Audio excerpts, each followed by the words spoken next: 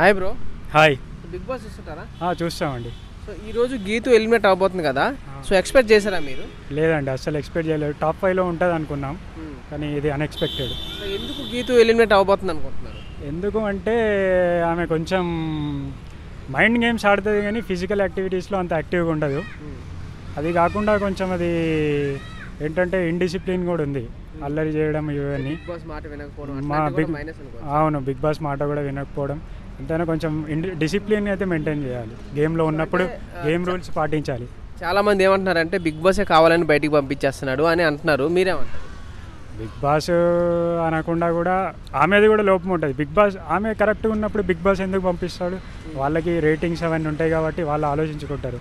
ఆమెను పంపుతున్నారంటే ఆమెది కూడా లోపం ఉండుంటుంది నాగార్జున గారు కూడా ఆయనకి టూ త్రీ టైమ్స్ చెప్పడం జరిగింది. గ్యాట్ తీరు మార్చుకో అని చెప్పి. అయినా తను అలానే ఉంది. సో అది కూడా ఒక మైనస్ అనుకోవచ్చు.